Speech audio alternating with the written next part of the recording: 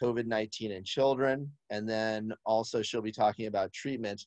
And then we'll wrap things up with a question and answer where anybody can ask any question. We'll do the best we can to answer that question. All right. So, next slide. So, yes, initially, let's talk about epidemiology and transmission. Next slide.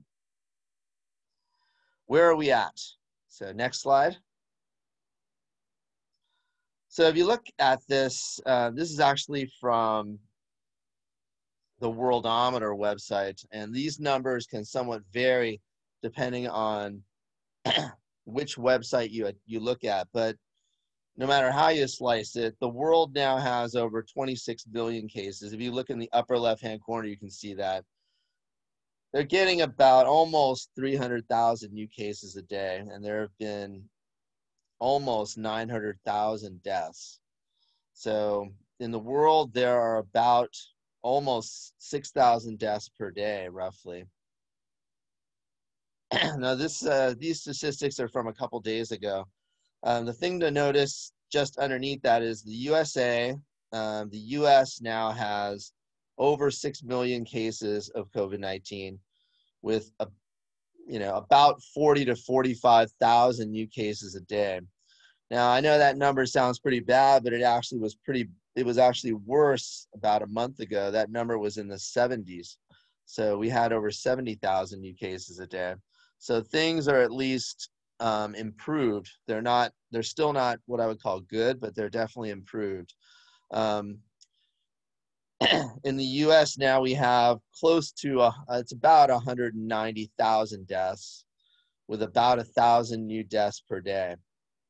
So you can see that Brazil and India are, are second and third, but there is no nation that is within even 2 million cases of us. So the US, in terms of COVID 19 cases, is the worst by far. And you can notice if you look at the number of total cases in the US and in the world, the US makes up about a quarter of the total cases in the world. Next slide. So this is Santa Clara County. Um, you know, I thought I would emphasize kind of where things are uh, are at, mainly here in Santa Clara County, because that's really what affects us the most. But the total number of cases is about 18,000 now in the in Santa Clara County, with about roughly 200 new cases per day. Sometimes a little more, sometimes a little less. Um, the total deaths about 250 cases, and right now there are currently about 130 um, people hospitalized. Next slide.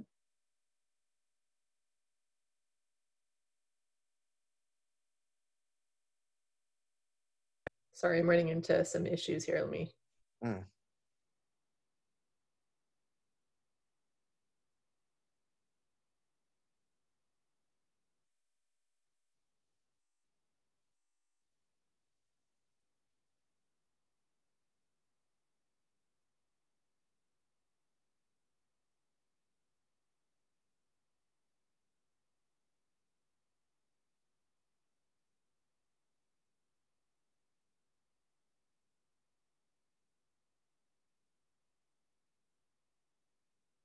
There you go. Thanks. Oh. Okay, great. Thanks. So this is actually a timeline looking at um, COVID-19 cases in Santa Clara County. And you can see, you know, back around the shutdown, that's when when cases actually were spiking. And uh, in April, they reached a peak where the daily case count in Santa Clara County was still under 100 but it was in the, the 70s and 80s at times. So with uh, with sheltering at home and all the the preventive measures the numbers actually improved significantly. And you can see in may that the cases actually came down to you know under 20 a day you know, sometimes in the single digits. So but since then so after Memorial Day in May, you can start to see that the, the numbers are starting to climb. And then, particularly after July 4th, is uh, sort of a marker when things really started to take off.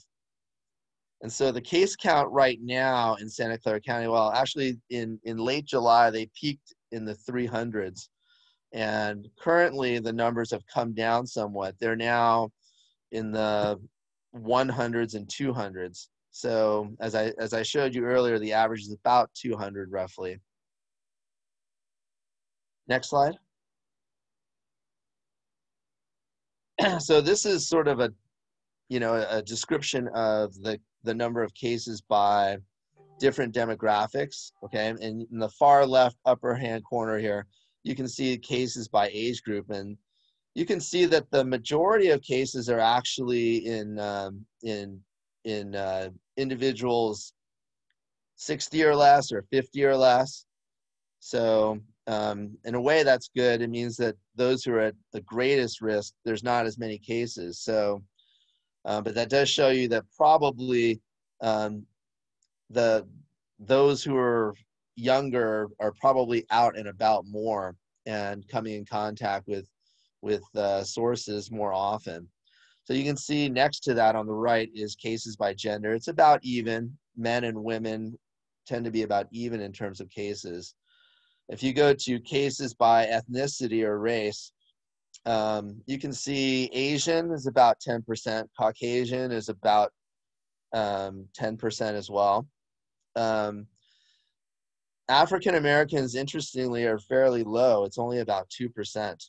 But you can see the Latino or Hispanic community actually make up more than half of the cases. So that's 55%. That's pretty huge. So I don't believe that this is anything. This is not a genetic issue. It's it's more, I think, due to socioeconomic factors and also um, Hispanic families tend to be very tight knit with multi generational um, households. So that's that's probably more true with them than with other um, ethnicities. So if you look down here in the bottom left, you can see case cases by source of transmission. The key thing to note here is that um, only about in, in only about a third of the cases are we able to actually trace their source of um, of infection to a particular case. So most most uh, most cases of COVID, we do not know where they got it from. Okay, next slide. So this is actually from the CDC website. It's um, coronavirus mortality risk by age. So they what they did is they had a the control group is the 18 to 29 year old group. Um, that's the third group from the left, and you can see that's their comparison group. So they they looked at what your risk is of being hospitalized and dying um, based upon age. So if you can see by hospitalization, so for me, for example, I'm in my 50s now my risk is four times higher to be hospitalized from COVID 19 compared to somebody in their 20s. But my father, who is in his late 80s, has a 13, you know, his risk is 13 times higher than compared to somebody in their 20s of being hospitalized if he gets COVID 19. And you can contrast that to, um, say, my daughter, who is 16 her risk of being hospitalized is nine times lower than someone in their 20s. And you look at death. Uh, so my, um, you know, uh, sad to say, but I have a 30 times higher risk of dying compared to someone in their 20s if I get if I get COVID-19. And my father's risk is, you know, over 600 times higher, whereas my daughter is uh, 16 times lower her risk of being of dying from COVID-19 if she were to acquire it. Next slide. So this is, um, I guess the point of this is, you know, coronavirus is serious, but we shouldn't panic. And you can see here that, um, you know, comparing influenza risk. So the death rate from influenza is only about 0.1%. The death rate in the US from COVID 19 is about 3%. Here in California, it's about 1.8%. And the good thing to notice here is that in Santa Clara County, our death rate is actually fairly low at only 1.4%. Um, and for the Spanish flu back in 1918, um, their mortality rate was somewhere above 2.5%. So I think it's a good thing. I think it, it does say that here in Santa Clara County, our, our fatality rate is actually pretty low. So that is a good thing. It's a good thing to be here in Santa Clara County. But again, um, you'll notice that, you know, there have been arguments that, you know, this is no worse than the flu, and that's simply not true. So the, the mortality rate from flu is only about 0.1%. And even where things are good here in Santa Clara County, it's still many times higher than that for COVID 19. Next slide. So let's talk a little bit about transmission. So there have been, there is some evidence now to support that. Um, well, let me let me point out that when we talk about respiratory droplet versus um, aerosol, we're really talking about the size of the droplet. So aerosol is considered to be droplets that are less than five microns, okay? And a micron is about a millionth of a meter, okay? So uh, it's pretty small. But uh, respiratory droplets are usually considered to be above five microns in diameter. So um, there are there is evidence now to show that that um, aerosol does play a role in terms of transmission, but um, and of course, you know, fomites like coming in contact with um, some sort of inanimate object that can transmit um, COVID 19, like a doorknob or a countertop. Um, those are possibilities, but it's still transmission is primarily via respiratory droplet. So, and that is including from people with and without symptoms. So it's it's not totally clear how what percentage of COVID-19 cases are asymptomatic, but I've seen numbers as high as, you know, they think perhaps as high as 25% of cases are asymptomatic. But those individuals that are asymptomatic or pre-symptomatic can still transmit the virus. So I want to make that point because, um, you know, it's, it's, um, you know, if you go to a party and, you know, there's a large number of people there and, and even if everybody there says, you know what, I feel fine, I don't have any symptoms, that doesn't mean that someone there isn't positive and, and can still transmit the virus. So for those who do get symptoms, the mean or at, or roughly the average time for people to develop symptoms is about five days. However, almost everyone within 11 days gets symptoms. Okay, everyone who does get symptoms, that is. Okay. Next slide. So R naught is sort of the measure of about how uh, the average number of people who become sick from a single infected individual. And this just gives you an idea comparing different viruses. So the flu, as you can see, is about 1.5. SARS was about 2 to 5. COVID 19 is somewhere in that same range, about 2 to 3.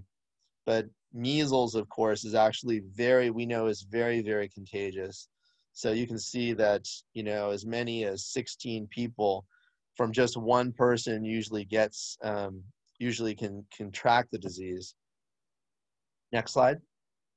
So let's talk a little bit about prevention. I'm sure, you know, next slide, you're, you're all familiar with um, a lot of these measures. So try not to touch your eyes or your face. I know that's very difficult because a lot of times we do this subconsciously. So um, but I would encourage you not to do that if you can consciously think about that. Obviously, wash your hands um, thoroughly and often. Um, social distancing, you want to maintain at least six feet of distance between you and others when you're out in public. And you can see that picture of someone on a mountaintop. That's the ultimate, I guess, social distancing. Um, he's not wearing a mask, but he's in the middle of nowhere, so I guess it, it's uh, pretty safe. Next slide. So let's talk about hand sanitizers. So, you know, nowadays you can actually get hand sanitizer, you know, in it's they sell it everywhere now. So I, we just bought some actually at Costco recently. But the key point is um, there are varying amounts of ethyl alcohol in, in different hand sanitizers. Um, you want to make sure that any hand sanitizer you buy has at least 60% ethyl alcohol.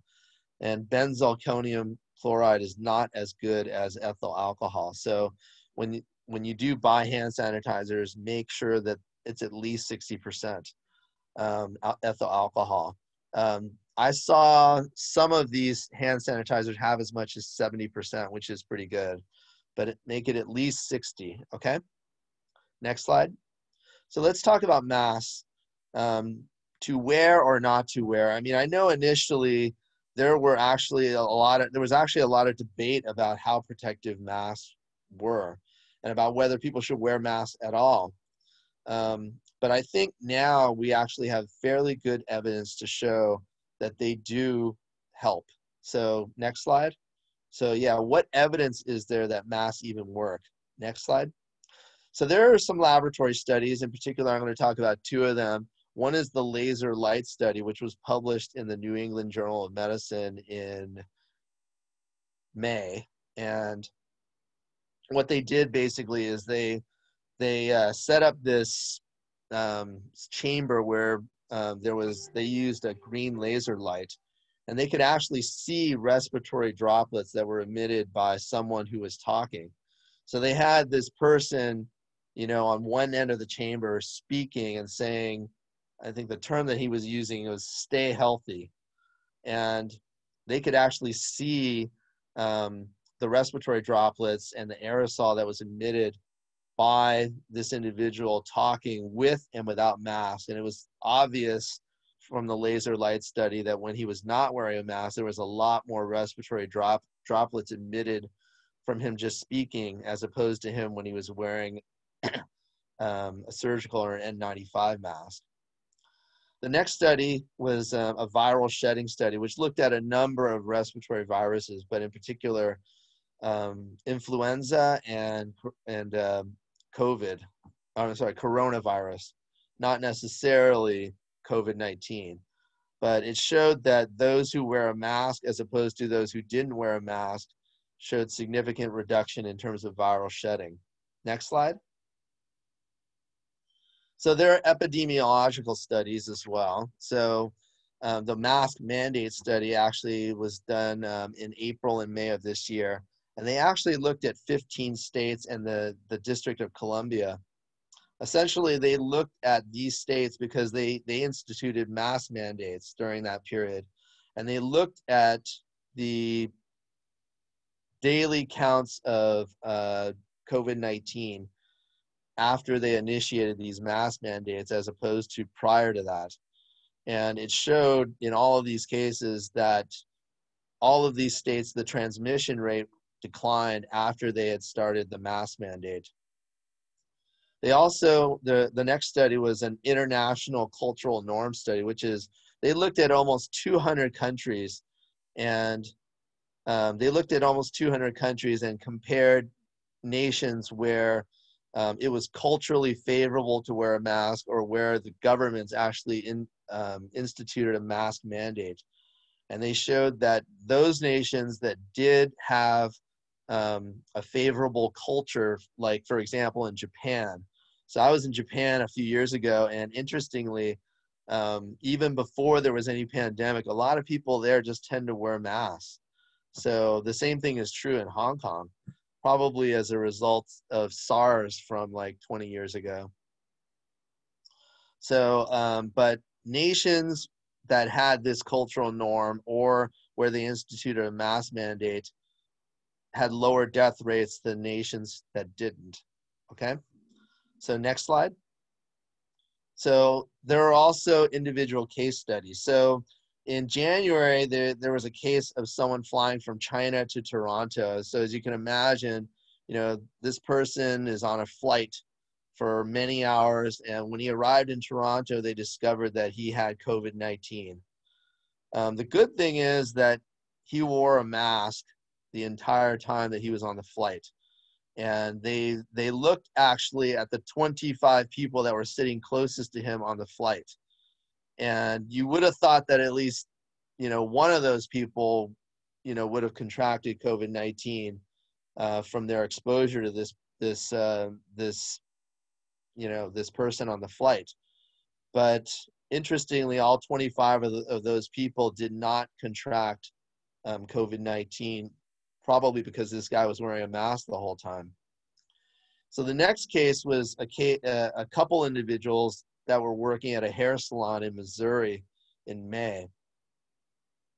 And the sad thing about this case is that these two individuals were symptomatic, but they chose to work and, see clients despite being symptomatic. But the good thing is that these two individuals were wearing a mask and all their clients were wearing a mask. So um, they actually, these two individuals, though, during that period before, while they were symptomatic and before they realized that they were positive, they uh, they saw about 140 clients. Well, none of those 140 clients contracted COVID-19. So that that's a, a pretty impressive case to show how effective masks can be in terms of preventing transmission. So uh, next slide, let's talk a little bit about the different types of masks that there are. So this is a picture of me. I'm wearing um, I'm wearing an N95 mask. This is the what they call the duckbill variety, but there are a lot of different um, types of N95 masks. So N95 masks are considered basically the gold standard in terms of protection in terms of masks. So they they are the reason they're called N95s is because they protect you from 95% of particulate matter in the air. Now, I want to make this point that although they're the gold standard, um, I think for the most part, most people do not really need to wear an N95 mask. Okay, these are usually uh, for healthcare workers when they're seeing patients. Um, they are very effective, but um, unfortunately, the I, I do not wear an N95 mask when I'm in regular clinic seeing my normal patients because I just cannot um, I cannot tolerate wearing an N95 for the for the entire day. It's just very difficult to breathe through. The running joke that I have is that the 95 and N95 indicates that um, the, that it blocks also 95% of the oxygen. so I know that's not really true, but it feels like that sometimes.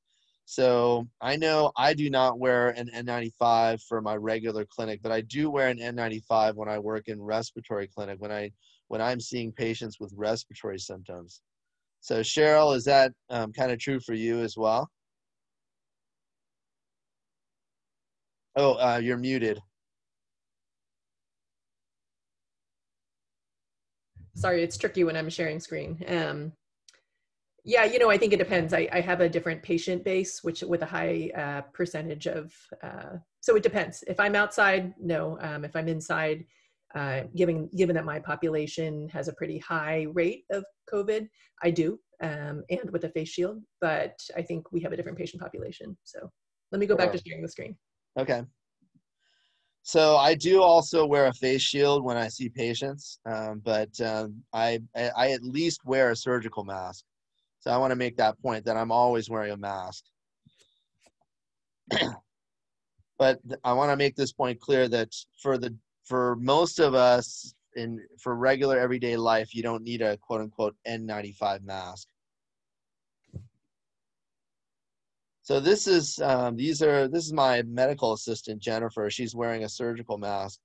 So surgical masks are not considered quite as effective as an N95 mask, but they are easier to breathe through. Um, I do wear these the whole day, and they they do they are still fairly effective in preventing transmission, and probably they probably block somewhere in the 80 to 90 percent particulate matter range.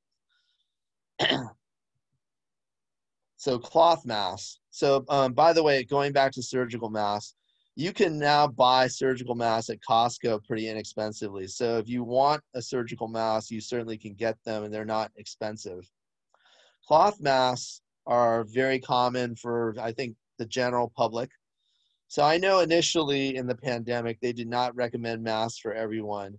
I think the main reason that they did that is because they wanted to make sure that that um, uh, that personal protective equipment that there were enough masks for healthcare professionals.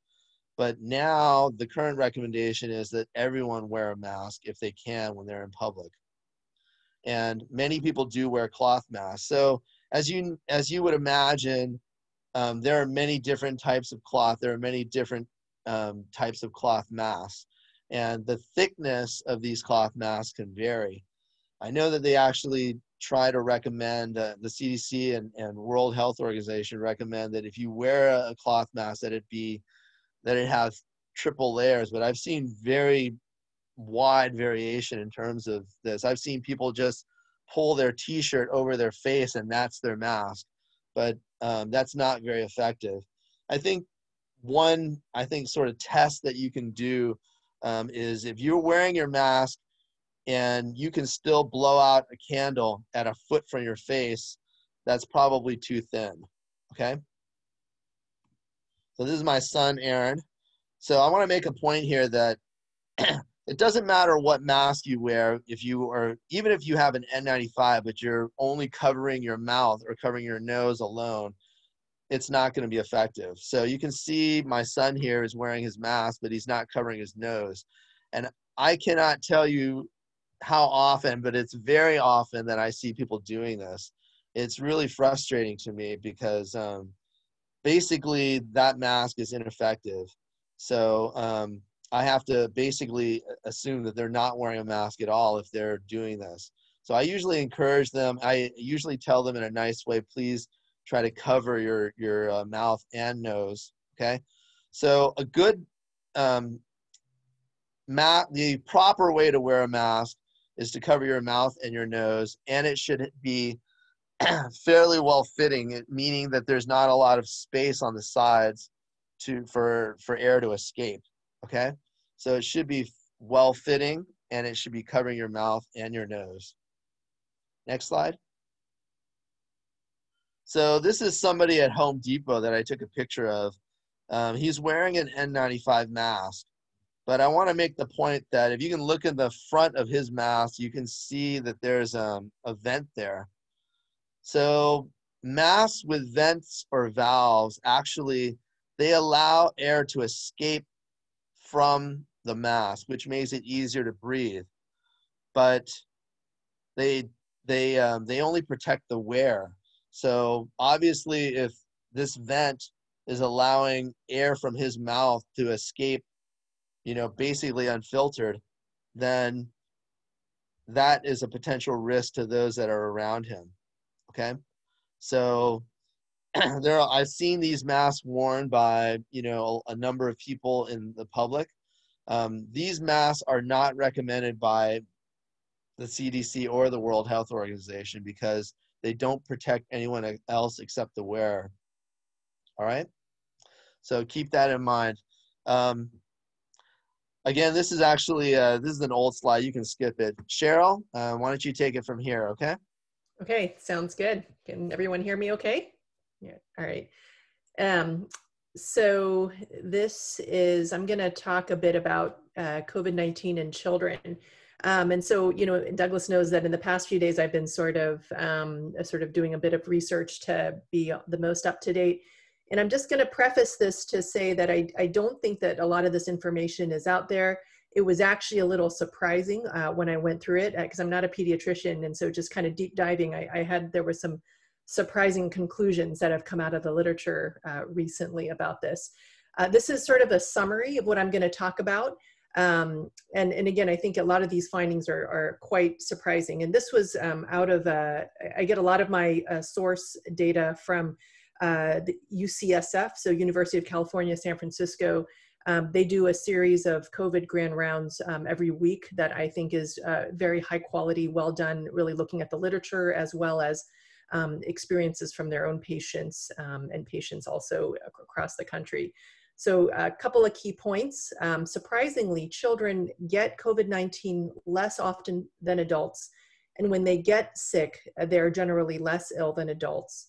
Um, and I think this number two is quite surprising because I think uh, kind of in the public perception, we've heard this term that children are these asymptomatic uh, spreaders.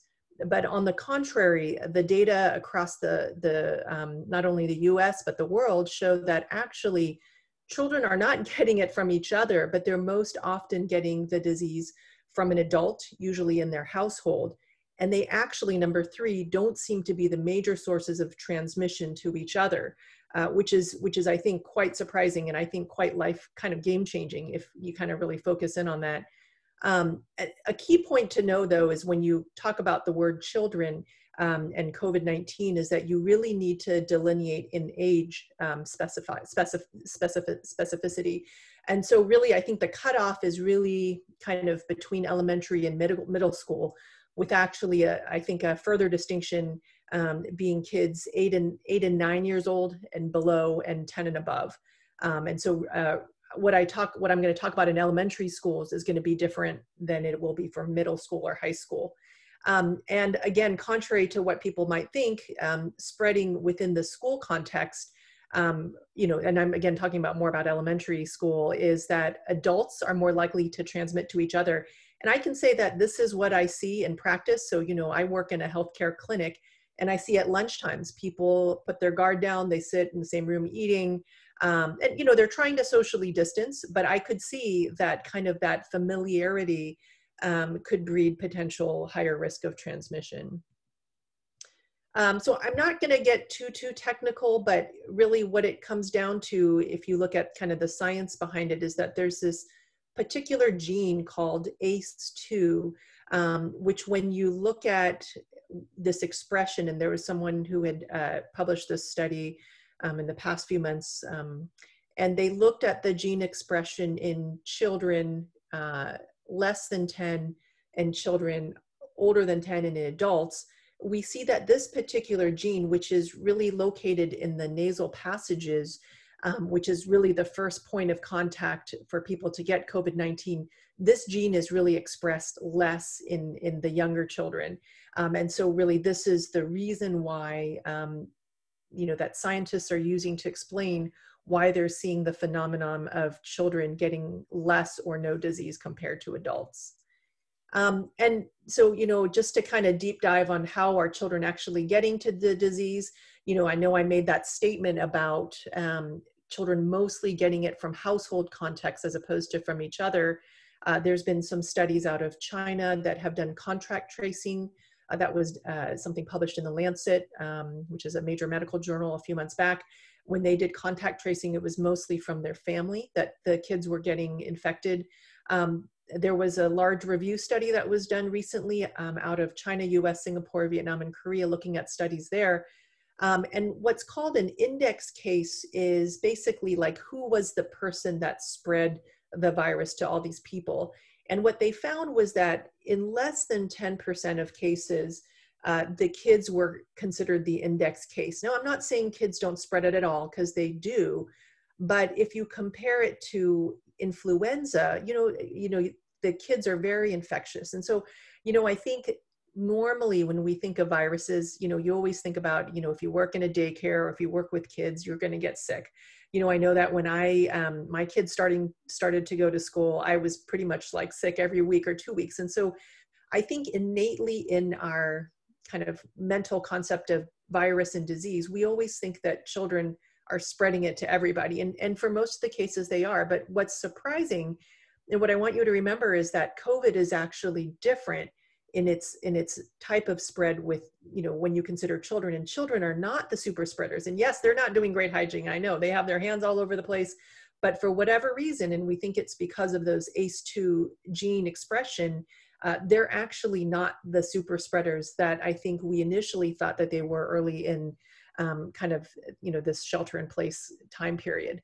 Um, I have to say though, unfortunately, by the time the kids hit middle school and high school, uh, their gene expression is just like adults, and so we've definitely seen reports um, of outbreaks in middle school, high school, and so you know I think um, this works nicely because I have elementary school children and I know that they need in-person support more. Uh, and I'm not saying that the middle and high school don't, but I think that the younger ages are, are critical in terms of you know needing that kind of in-person school support. So this is a bit heartening to me i have to say um, and i know that you know the caveat is that uh, there's been some um, kind of concern about this condition called the multi-system inflammatory syndrome in children. And so whenever i talk about the reassuring data around children you know i think one of the kind of feedback is no but they can get this terrible inflammatory syndrome. And i can say for sure it is absolutely terrible.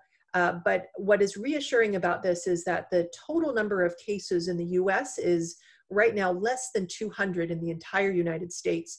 And the predominance of location of this syndrome um, has really been in the cases of where the virus was hit hard in the early days. So the New York and the New Jersey and Michigan um, is really where we've been seeing the bulk of cases of this multi-system inflammatory syndrome. I, I recently heard a report out at Packard uh, from our local Packard Children's Hospital, and they have had no cases of the multi-system inflammatory syndrome. So I hope that that would be reassuring uh, because I know at times the media can sort of catastrophize uh, conditions without really providing the proper context. And I want to say that um, really, while this is a concerning syndrome, we're not seeing this in large numbers. Um, and so, you know, I think what I um, kind of want to wrap up here in the children is that again, um, highlighting, you know, that the adults actually need to be very careful, and as well as the middle and, and high schoolers. Uh, but I think there's some reassuring information that we're seeing about uh, elementary school age children. And I think, you know, also in the media, we've been seeing reports about um, kind of maybe outbreaks as schools have opened up, you know, say in Florida or Texas or in Georgia. Um, and kind of the way that people are thinking about this is that, you know, that you're seeing children getting positive cases because they're getting them from their family members because the prevalence of COVID 19 is higher in those states. And so, really, when they do the contact tracing again, they're seeing that they're getting it from their household. So, the outbreak is not generally happening person to person by the children, but really it's because the community prevalence is so high. And so that's why, you know, as school systems right now, uh, they're kind of waiting um, for each county to, for the, you know, for the, the community positive rates to come down before they open up schools because they're looking at communities. Uh, because, you know, if, if a kid gets it, um, if even if they get it from their parents, you know, the school's going to freak out and, and shut down. And so I think, you know, they're really waiting for the numbers to come down in the community before they open up the schools. But they're not passing them between children in general. I mean, they are, but but not in large numbers. I know there's been a lot of um, kind of media around the different treatments, like what can we take? You know, is the government hiding something from us as to you know and not reporting stuff? So I'm going to just kind of not go over all of them, but just talk about some of the major players.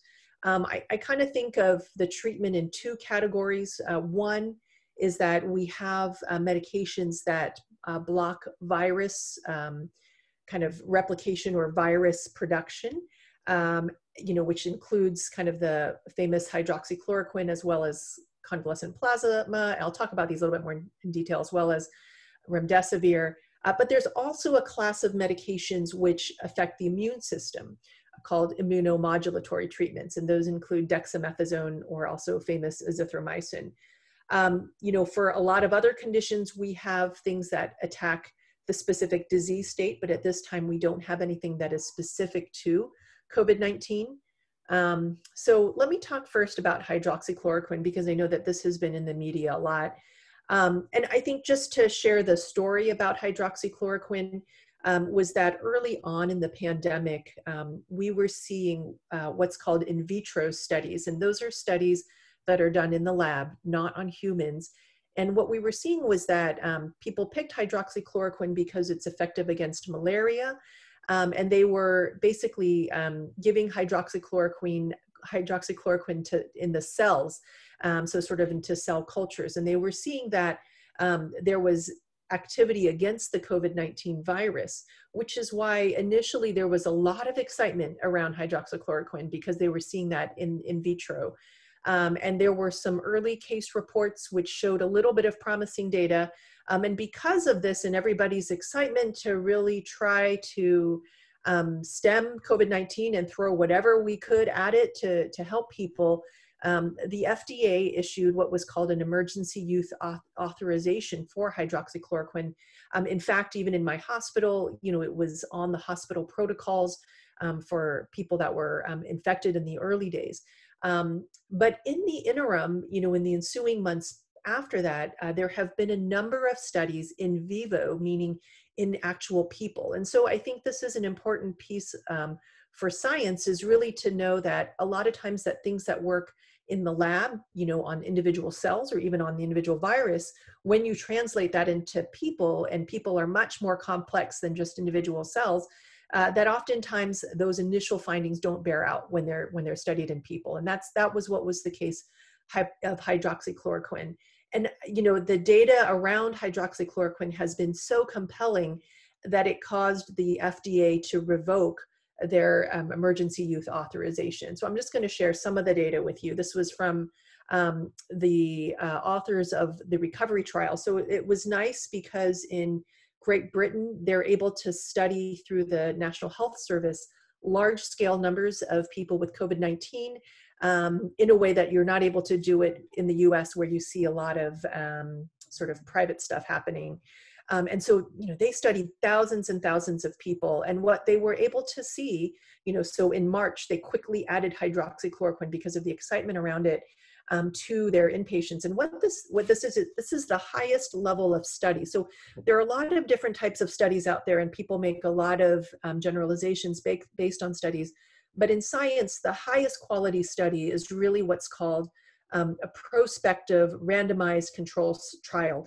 So what this means is that it's a type of trial where you take all comers and you take one person and you give them one um, you know treatment and you give the other person either placebo or you know no treatment at all um, and this is much more accurate than taking a set of group of patients and looking backward and said okay these people that i gave hydroxychloroquine got better um, you know, and so it therefore works.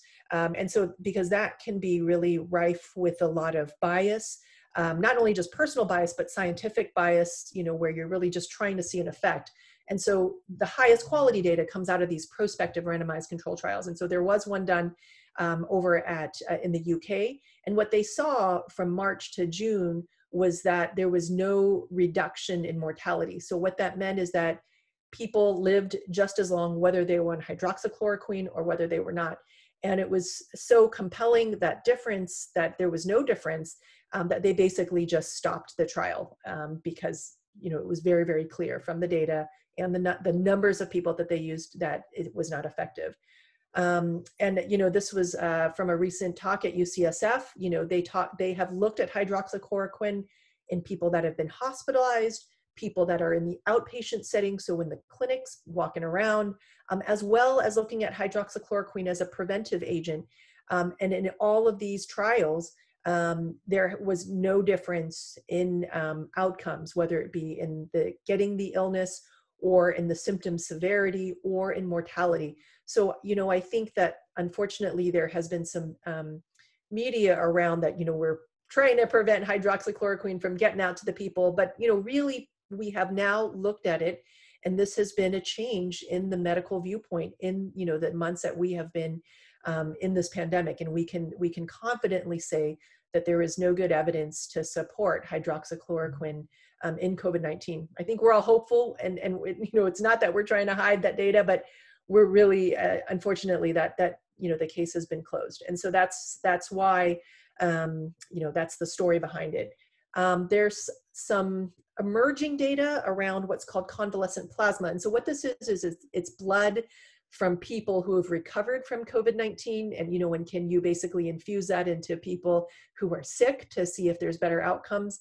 Uh, I have to say the data is not out so we're in the study periods. You know there's some promising data but it's a little bit too early to say yes or no uh, on the contrary there is a medication called remdesivir which is made by Gilead here in the Bay Area which has uh, shown um, some difference in uh, hospitalizations and uh, improvement in uh, outcomes, um, you know, in terms of hospital stays. Uh, and so that has been approved and that is being widely used inside the hospital setting because that is where it has been shown to be effective is in the hospital. Um, in terms of uh, other treatments that affect the immune system, another problem, another one that has been shown to be effective is dexamethasone. And so this is another story of that the data changed during the pandemic. So early on, we were hearing information that prednisone was not helpful, which is a derivative of dexamethasone. Uh, we were seeing, you know, gosh, it's it's not helpful. You know, you should stay away from it. But when they did the studies, and it's that same UK study, uh, they actually are seeing uh, benefits, especially in people that are hospitalized requiring oxygen. So this is beneficial in a certain subset of patients that are quite sick in the hospital, and we are seeing uh, mortality benefits. So meaning that people are are dying less when they're taking that medication. Uh, azithromycin, I think the jury's still out. We haven't seen a lot of good data uh, as of yet, and so so far we're not seeing that that's of any benefit. Um, and so what I'm going to do, we're going to open this up to the question and answer. I'm going to stop here. And maybe what we could do is um, we could see if you guys could either raise hands or put questions in the chat and we'll field some questions. And I want to be mindful, we have six minutes left until 11. So if you're got something at 11, please feel free. I think we'll go to 11.15 and maybe do a hard stop then.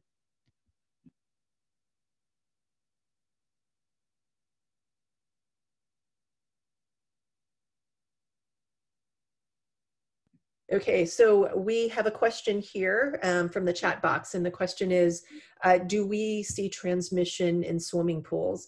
Um, and so my understanding is actually is that uh, the transmission in chlorinated water itself, uh, you are not, there is no transmission that is in the water, but uh, the transmission that is occurring is the social behaviors around swimming pools, which are the hanging out, the picnics, uh, and that is what's causing the transmission. Um, but if you're just going in to swim and get out, then you're fine. And that's why uh, swimming pools have been opened on limited bases. Cheryl, this is Selena. Can you hear me? The next question, uh, I guess from George, talking about why is Santa Clara County's mortality rate lower than the U.S.? I mean, lower than the national rate, I guess. And uh, I guess that you know, I, I would have to say that you know, here in the Bay Area, we actually are our access to healthcare and the quality of healthcare that we have here is very good compared to the national level. So I, I that's what I attribute it to. I also attribute it to the fact that um, you know nationally uh, um, there are there have been areas where their healthcare systems have been overwhelmed, and that is not not true here. So um, Cheryl, any thoughts on that as well? Yeah, I also think that um, some of it could be affected by the denominator. So, meaning that um, your percentage is based on the total number of people tested. And I do think that we have pretty robust access to testing here in the Bay Area, and we're testing a lot of people. And so I think that our mortality rate, you know, I, I agree, Lawrence, that we do have better access to healthcare here. So I do agree that that is some contributing factor, but I also think that we're testing a lot more here as well.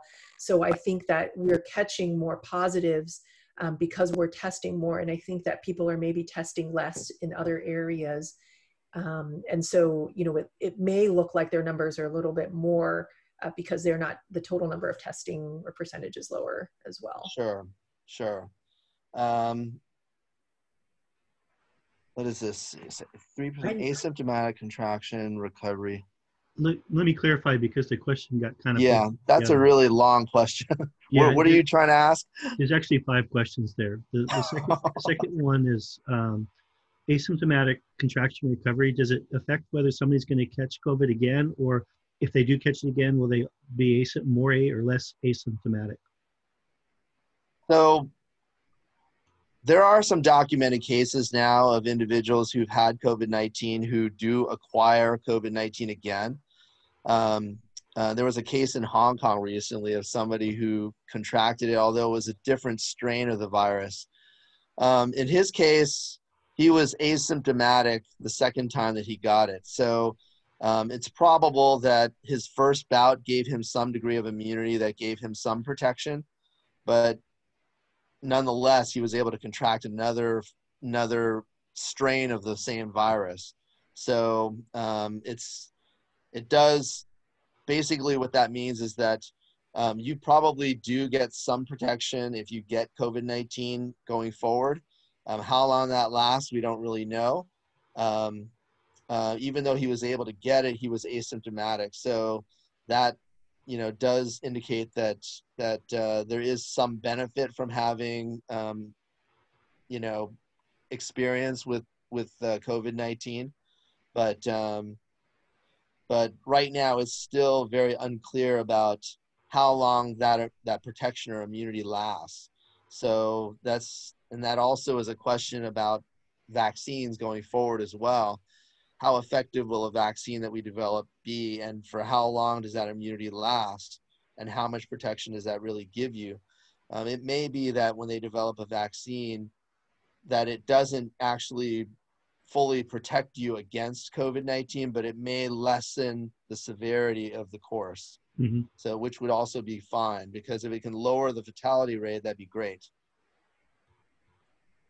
So um, I see that there's a question from Selena about um, because she works with mentally ill folks that don't have uh, follow the precautions well, and she's asking what would be appropriate for PPE. And so Selena, I think you and I have a similar patient population. I can say 95% of my patients do not wear a mask appropriately, and they wear it like Lawrence's um, son in that second picture. And so kind of my safety things are is if I can see them outside I'll see them outside. So that's kind of my number one thing. If I can't see them outside, uh, you know, and actually now, even if I'm outside, I will still wear uh, a mask and a face shield. And because I feel that my patients, and I think yours too, Selena, I mean, they have, they're less aware of kind of the precautions, um, you know, and they are the folks that are, you know, in our county, the folks that are getting it, you know, it's uh, disproportionately um, people of color and uh, low income. And so I, I am wearing a face, uh, I'm wearing a face shield as well as a mask on all my encounters, uh, especially inside.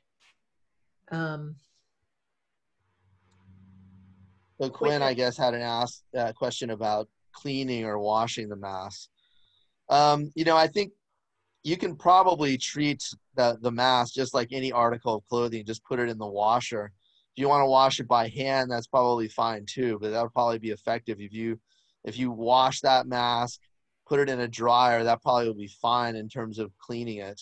Um, uh, or if, and, and if you wash it pretty thoroughly with soap and water, you probably can just hang it to dry. And that probably would be okay as well. Um, I see Ada has a question here. The length of contagious period uh, once the person is tested positive. Um, so basically, you know, initially in the outbreak, you know, the the kind of the golden number was 14 days. So I don't know if you guys all remember that, right? So you would have to isolate or quarantine for 14 days. But public health in the past month has changed that uh, to 10 days, and so they've shortened that. And so basically, if you are positive for COVID 19, you only have to quarantine. Um, and kind of stay out uh, for 10 days now uh, unless of course you're kind of going to a very like a shelter or a massive public kind of location but really they're uh, they don't believe that you're spreading after 10 days and there is no utility to be testing after you test positive because there's a lot of what's called viral shedding and so you know our, what the tests do is they they capture kind of DNA particles or RNA particles of the virus, but it doesn't actually tell you whether they're active or not. And so we know that after 10 days, uh, we're not seeing active transmission.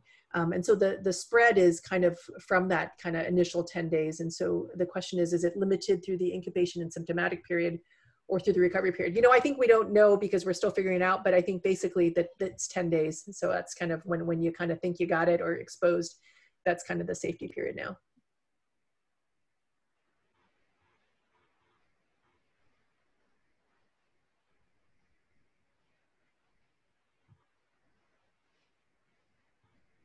All right. Any other questions? These are some really great questions. Going back to, why don't we go back to George? He had a few questions. If we don't have any other questions, is there anyone else that has a question? So George, I'm sorry. What what were your? I have a questions? question, oh, Lawrence. Sorry, go ahead. Go ahead. uh, sorry about um like touching mail and mailbox and grocery bag and you know just you know what I mean, the daily yeah. stuff. So, any advice on that? Yeah, so you know, um, you know, I don't think you need to be overly concerned about catching COVID 19 from fomites, which is a fomite is an inanimate object like a doorknob or a countertop or a mailbox or like a shopping bag. Okay. Um, the, the, the survivability of the virus does vary depending on the surface that we're talking about. I think usually metal or plastic, they can last there for the longest period, like usually like days. Um, but to be honest with you, there are not, uh, it's not as big a concern as like being in close contact with an individual. So I don't want you to get obsessive about like, um, about, you know, you know, um, worrying about touching a doorknob or, or things like that. Again, my, my advice is wash your hands often or use hand sanitizer often, but actually washing your hands is actually even more effective. So wash your hands thoroughly and often, um, and um, you know, you know, try to, you know, avoid touching areas that you know are high traffic areas for other people, like like a doorknob or a handle. Okay, but I don't think you need to be overly worried about catching COVID nineteen from those sort of surfaces. Okay. So in in my long post, uh, each of the questions begins with an equal sign. I don't know why some of them got wrapped together. Okay, why don't you just ask us? Your questions were all sort of jumbled together. yeah, sorry about that. Um, what's the utility privacy um, and options we have with regard to contact tracing phone apps? Yeah, I know that um, in sort of different countries like um, Australia, that's been one that's um, you know been used. I can I can say you know just um, yeah, I, I have to say you know, but I, I think in the United States you you know you have the kind of comment there that you wrote about privacy, and I think that's you know I think here in America there's a you know definitely a sense of um, you know wanting to maintain privacy, not wanting my data or information to get out so to be honest, I don't think that's likely something, you know, because of the nature of uh, the United States that that's going to be widely uh, used and um, basically bought into across the country. I mean, there may be pockets like say in California where that might, you know, see some kind of uptick or whatever, but I don't think that my guess is just based on our own politics within our country, that's not likely to to happen. I mean, whether it's, I mean, it sounds like a great idea. I mean, I know that in the Asian countries, uh, you know, you know, where basically they're tracking you on your cell phone, it's very effective. Um, but unfortunately, or fortunately, uh, however your viewpoint is, um, but I, I, don't think that that's going to go mainstream here. Mm-hmm, mm-hmm. Any, I agree. Any evidence of uh, genetic or um, phenotype predisposition so again, um, you know, right now, I, I, think it's too early in terms of that sort of data, but you know, clearly, the Hispanic or Latino community seems to be at greatest risk right now. Um, you know, as you saw from the the demographics earlier, they more than half the cases in Santa Clara County are in that community. Um, and that's not just true here, that's true in other states and other communities as well. So um, again, I don't I don't think that this is attributable more to genetics. I think it's more to cultural norms and to socioeconomic factors. But um, but that question still um, still is up in the air.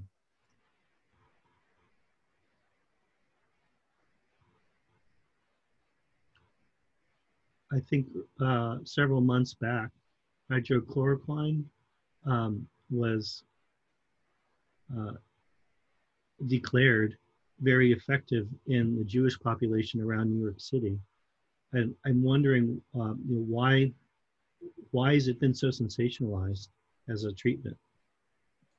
Yeah, that's a, yeah, I don't know why that particular medication has been called out so much in the sensationalism. I think, you know, my sense is that, you know, it's pretty readily available um, and it's cheap. And so I think, you know, there was some early uh, anecdotal data, you know, and, you know, I think there's been some reports uh, you know, from doctors stating that it's been helpful in their patient population. And so I think, you know, why that particular one over others, I'm not sure. Um, but it's been interesting to see that there's been so much focus and attention. I mean, it, yeah, for sure, that's the one that's the standout. Well, I mean, um, why? I'm just going to add my two cents here.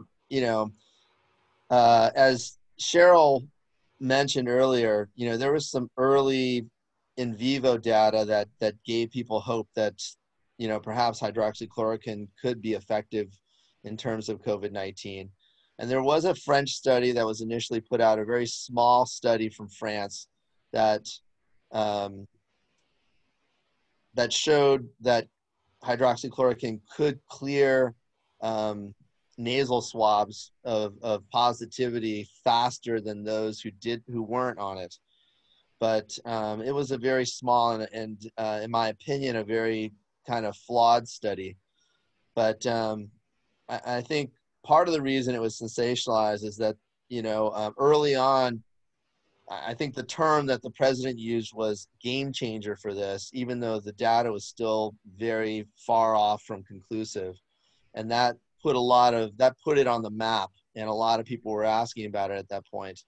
But um, i think as cheryl showed you know there is a lot of evidence now to show that it really is not um, very effective in terms of treating covid-19 and um, you know the va study there was a va study done that showed that um, the mortality rate for those who are on hydroxychloroquine with or without is azithromycin, their fatality rate was actually significantly higher.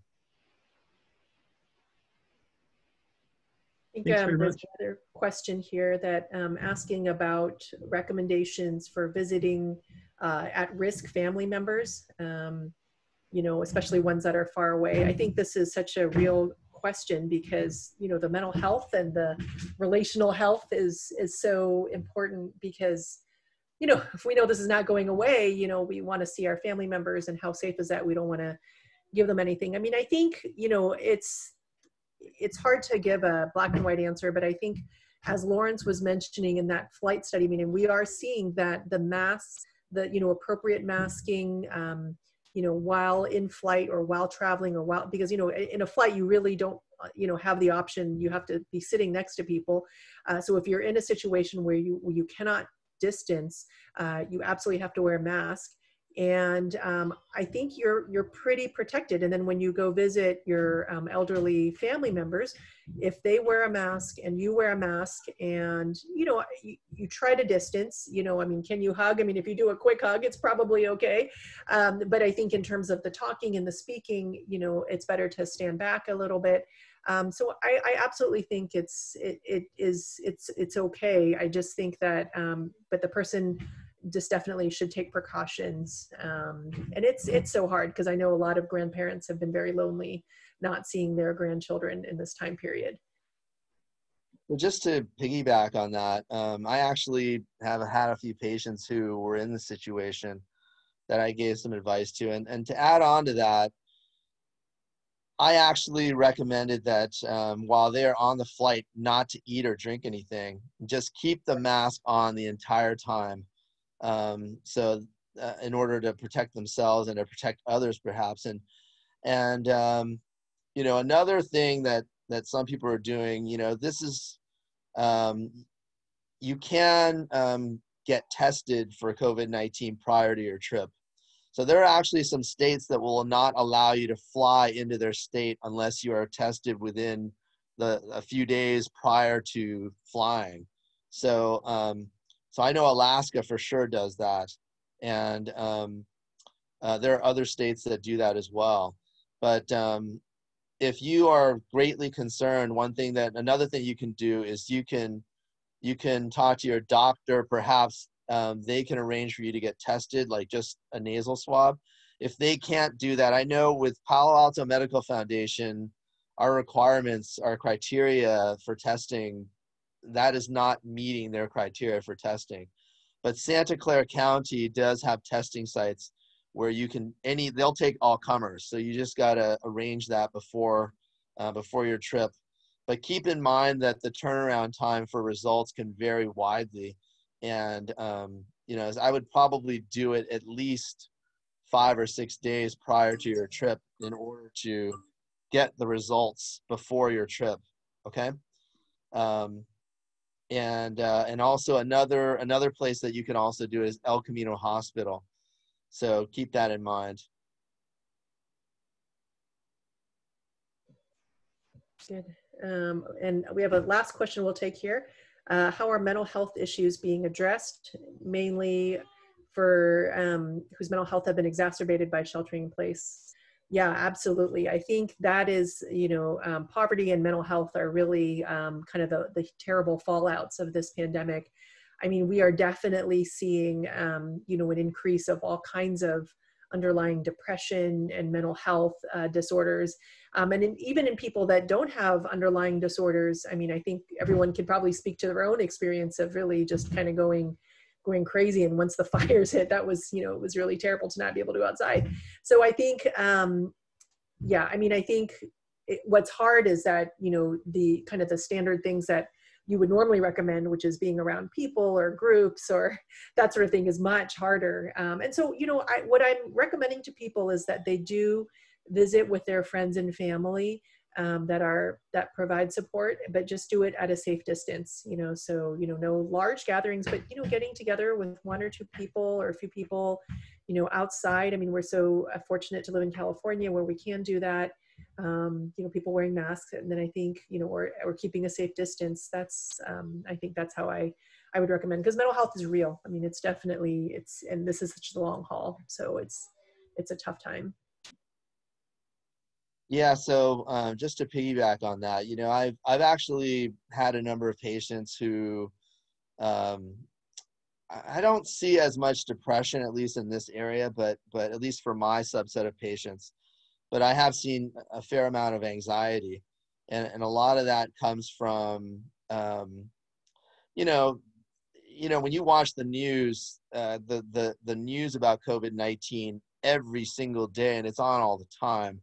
Um, it tends to to to to um, for some people it tends to make them quite anxious um, and um, so i have seen more i think more anxiety rather than depression but you know depression can also, you know, I, again, this is something that uh, was brought up to me by one of my patients, like talking about, you know, the effects of COVID nineteen of shutting down. What what does that, um, you know, job losses? How does that affect people's mental st- state?